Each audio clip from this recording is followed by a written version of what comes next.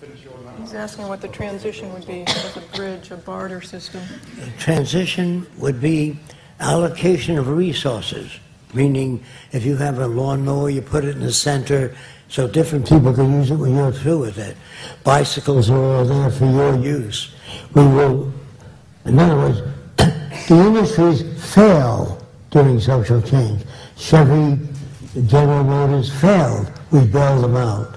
We gave the money to the people that created the problem meaning our system is basically corrupt as hell. If you take public funds where teachers can earn more and you give it to the banks and the establishment, that is insane. That's corrupt.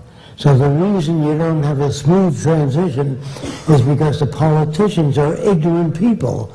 They know investment banking, advertising, resource management, and these are important professions that will help people. The professions, like people come to me and say, what should my child study to have a job in the future? A, a profession you never heard of. The profession will be new in the future. There'll be no banking, no advertising, no profiteering. Do you understand? The professions of the future will be environmental restoration, taking care of health of people, from youngsters to old people. All get health care, whether you have money or not. There's no money in the system, so you can't pay off anybody. You can't buy a congressman off. It's, as long as you've got money around, you're going to have corruption. No matter how many nice laws you invent, it doesn't work.